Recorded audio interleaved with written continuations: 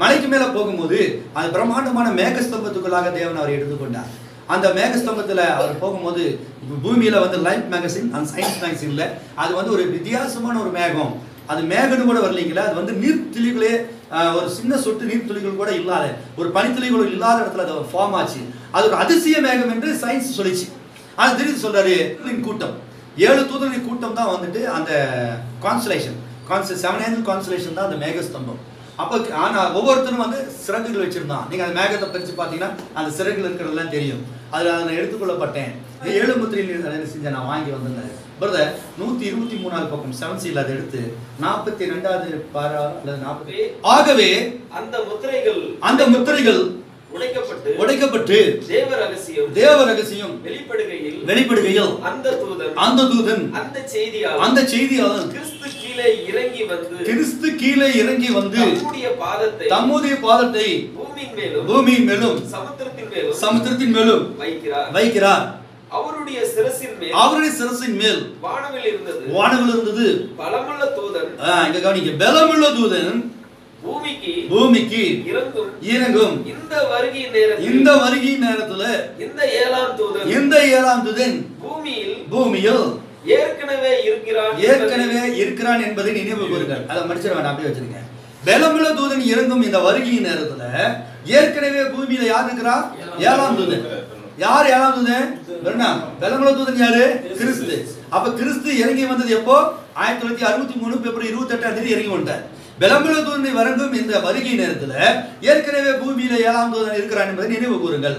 அடுத்து அவர் சொல்றாரு அடுத்த பேராவாசிஎன்பதை யோவான் செய்தியை கொடுத்து கொண்டிருந்த போது யோவான் செய்தியை கொடுத்து கொண்டிருந்த போது அதே சமயத்தில் அதே சமயத்தில் மேசியா வருவதற்கு மேசியா வருவதற்கு இது ஒத்ததாய் இது இருக்கிறது ஒத்ததா இருக்கிறது. இயேசுவை இயேசுவை அறிமுகப்படுத்துவதற்காக அறிமுகப்படுத்துவதற்காக குறிக்கப்பட்டவன் என்பதை யோவான் அறிந்திருந்தபடியா தான் தான் குறிக்கப்பட்டவன் என்பதை யோவான் அறிந்திருந்தபடியால் தான் அவரை காண்பான் தான் அவரை காண்பான் என்பதை என்பதை அவனுக்கு அவனுக்கு நன்றாக தெரியும். நன்றாக தெரியும். பாருங்க. இப்போ யோவான் வந்து என்ன செய்யறான் இந்த வருகை காண்பிக்கிறதுக்கு முதலாம் வருகை காண்பிக்கிறது யோவான் அங்கே உயிரோடு இருக்கணும். யோவான் இல்லை காட்சியிலிருந்து போனதுக்கு பிறகு அந்த வருகை வராது.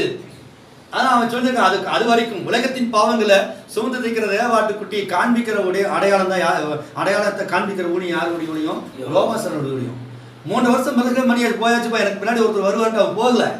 எந்த திரு- எந்த மெஸ்ஸியாவுக்காக காத்திருந்தாலோ எந்த மெஸ்ஸியாவை குறித்து வாக்கு தத்தங்கள் பழைய ஏற்பாட்டில் சொல்லப்பட்டதோ அத்தனை வாக்கு தத்தங்களையும் ஒருங்கே இணைந்த ஒரு மான்ச சரீரத்தை தன்னுடைய ஜீவி நாட்களிலே விரண்டிட்டு இதுதான் அந்த மெஸ்ஸியா அப்படின்னு அடையாளத்தை காட்டுற வரைக்கும் பூமியில யோவான் உயிரோடு இருக்கணும்.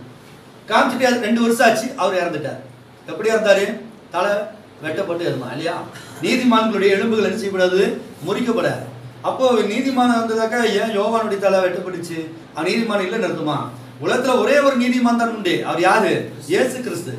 அவர் கிறிஸ்துவினாவி நம்ம பெற்றதுனால தான் நம்ம நீதிமான்.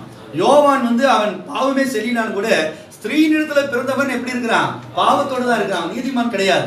தாவிது பாவி தான் எல்லாருமே பாவி தான் ஆனா இயேசு கிறிஸ்து மட்டும்தான் அவர் பாவியற்ற ஒரு நீதிமானா இருந்தார். அவன் தலை வெ- தலை வெட்டப்பட்ட அவன் மனுஷான் பாருங்க. ஆனா அதே போலதான் இந்த எப்படி முதலாம் வருகை அந்த யோ முதலாம் வருகையை அறிவிப்பதற்காக எரியாவின் ஆவி பெற்ற ஒரு சரீரம் ஒரு மாம்ச சரீரம் ஒரு பூமியில ஒரு தூதன் அவசியமோ அதே போல இரண்டாவது வருகை அறிவிப்பதற்கும் இரண்டாவது வருகை தன்னுடைய காலத்திலே சுட்டி காட்டுவதற்கும் ஒரு எலியாவின் ஆவி அபிஷேகம் பெற்ற ஒரு மனுஷன் பூமியில இந்த கடைசி நாள்ல இருக்கணும். புரியுதுங்களா? அப்படின்னா திருகரிசி எலியா இந்த நாட்களுக்குரிய எலியா யாரு? பிரணாம்.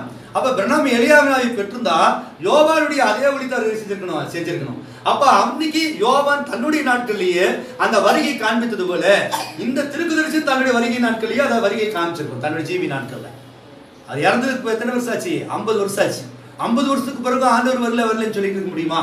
அப்ப அவருடைய செய்தி என்ன ஆகுது? ஐம்பது வருஷம் வரைக்கும் அவர் வராம என்னதான் பண்ணிட்டு இருக்காரு? சரி இப்போ சாக்னா காணியில் அவர் கையில் எத்தனை முத்திரை கொடுக்கப்பட்டுச்சு? முத்திரையில உடைச்சு கொடுத்தாரு. ஆறு முத்திரை கொடுக்கப்பட்டு ஏழாவது முத்திரை மட்டும் எப்படி ஐம்பது வருஷம் உடைக்கப்படாம இருக்கும். அந்த செய்தியினுடைய தலைப்பே வந்து ஏழு முத்திரைகளின் வெளிப்பாடு.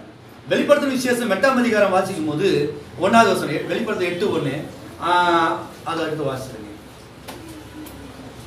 அவர் ஏழாம் முத்திரையை உடைத்த போது. பரலோகத்தில் ஏறக்குறைய அரை மணி நேரம் அமைதல் உண்டாயிற்று. போதுங்க. அவர் ஏழாம் முத்திரை முடித்த போது பரலோகத்துல ஏறக்குறைய அரை மணி நேரம் அமைதல் உண்டாச்சு.